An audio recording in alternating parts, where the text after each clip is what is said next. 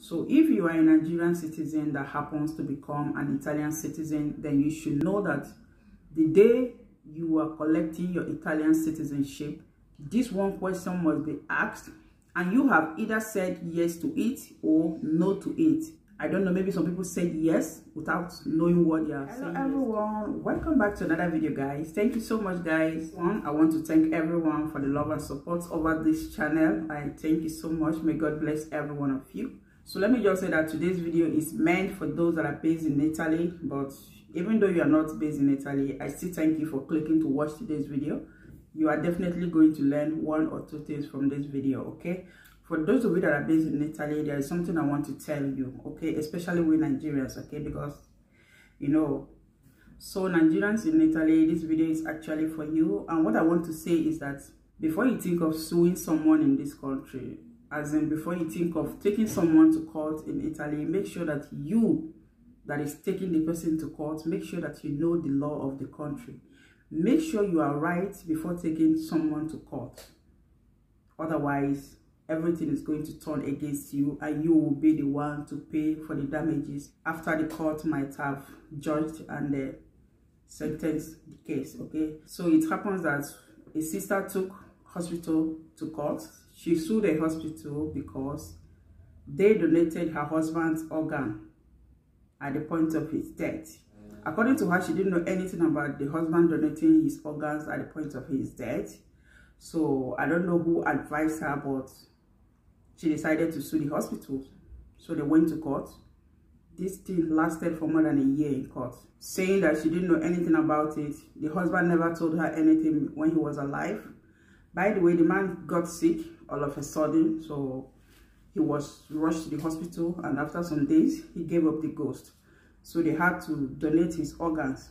So when she found out, she decided to sue them for doing this to her husband uh, I don't know. Only God knows if she knew, if the husband told her. But at the same time, I know that many Nigerian husbands, they don't discuss many things with their wives at home. So why I'm making this video today is that she sued them after one year and some months of going to court here and there. So after all verifications, it turned out that this man actually gave his consent for them to donate his organs when he is normal, okay? So at the end of the day, you can see that the woman lost the case.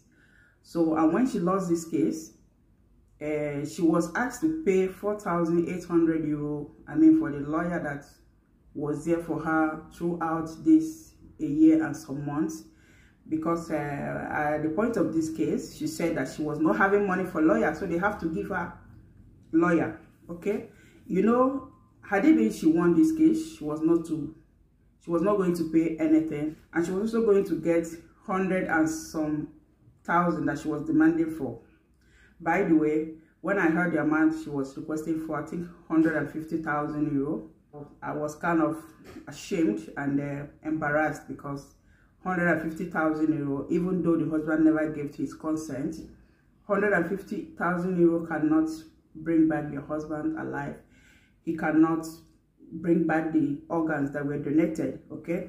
So my main reason for making this video today is is for you to know the law of the country that you reside in especially here in italy italy is one of those countries that respects law eh? they respect their law and they expect you the foreigner that comes to this country to respect their law equally so like i was saying um this sister did not do her verification very well because one thing they ask you in this country once you become a citizen is especially the day you are going to be collecting your digital id card at the comune the first thing they will ask you is if you want to donate your organs at the point of death. So it's up to you to answer yes or no. But many of our nigerians don't know this. Sometimes they will give you this paper to fill. And there is a place they will ask you in that paper if you want to if you would like to donate your organs at the point of death. So if you understand what is written there you either choose yes or no. So when they went through their computer it happens that this man actually signed yes so you can see that he gave his consent without the knowledge of his wife That is why I said that many of our Nigerian husbands hardly tell their wives so many things important like these ones. I personally, I remember when I went to Comune last year to collect my digital ID card.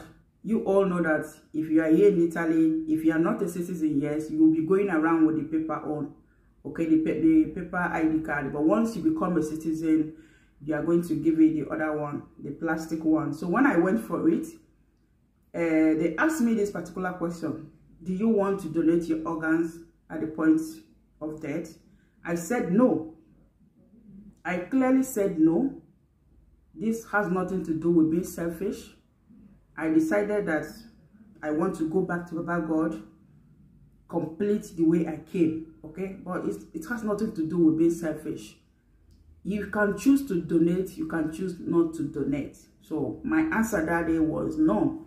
They did not give me any paper to sign because they see that I could speak Italian very well. So the person was asking me and um, the person asked me and then I just answered telling them that I don't want to donate organs okay I actually went with I actually went with my children. My children are still minor so they are so they cannot answer that question now. Maybe when they turn adults tomorrow they will be called to answer the same question. Okay but for me I choose not to donate it because I just don't feel like okay like I said I want to go complete the way I came. Yeah but i'm not saying it's not good to donate organ. It's very very good. As a matter of fact two years ago or three years ago when i was admitted at the hospital someone actually donated blood for me even though i find it so difficult collecting those bags of blood okay? I just find it so difficult. But when i saw that my life was really at risk i had no choice than to accept it. I really battled with collecting someone else's blood okay? But this is just a story for another day okay uh, yeah it's very very good to donate organ if you feel like if you don't feel like nobody is going to force you to do that. That is the reason why they ask you they must ask you. This country and their law they don't joke with it. So they must have evidence that you have accepted to donate your organs. So on this woman's case, the husband accepted to donate it without her knowledge, okay? I think the man did not tell her when he got home that day. So when he died, they donated it. And this is the woman going from one court to another, suing the people at the hospital. But at the end of the day, she lost the case because the man gave his consent to donate his organ at the point of his death. So my Nigerian people, why I'm saying this is that on the day you are going to come to collect your Carta Identità, the plastic one, this is once you become Italian, they are going to ask you this question. If you don't understand what they are asking you, please take someone along, someone that understands this Italian language so that they will interpret for you. Or if, or maybe if they give you paper to fill and there are some places that you don't understand, instead of you just marking yes yes yes without understanding i will advise you to go with someone that can read and write italian language that is the best thing for you to do instead of you um, marking yes today then tomorrow you say you did not understand the italian language very well and this is why i will keep on emphasizing on you learning this italian language okay once you are here in Italy, you have to learn this language. Some people are so stubborn, they will be telling you, why can't Italians themselves speak English? And that is when I remind them that, my dear, Italians are not the one in your country. You came here to them. And all of us knew from the beginning that this country is not an English-speaking country. I don't know how many times I'm going to be repeating this on this channel. Now she's going to pay 4,800 hmm, for the lawyer okay she was actually supposed to pay for defamation again about the hospital but they waived that away they just waived that so the 4,800 euro now is what she's struggling to pay because they, they actually gave her a deadline. They gave her a deadline to pay this money which is four months. Hmm? four months 120 days. 120 days is just like 20 days from today. So before you take any action maybe someone is advising you to sue someone just just so you can make money out of it make sure that you know what you are doing. Before you are suing someone have evidence evidence is very very important when it comes to going to court here in italy. You can't just sue someone just because other people are pushing you to sue someone for you to get some money out of it.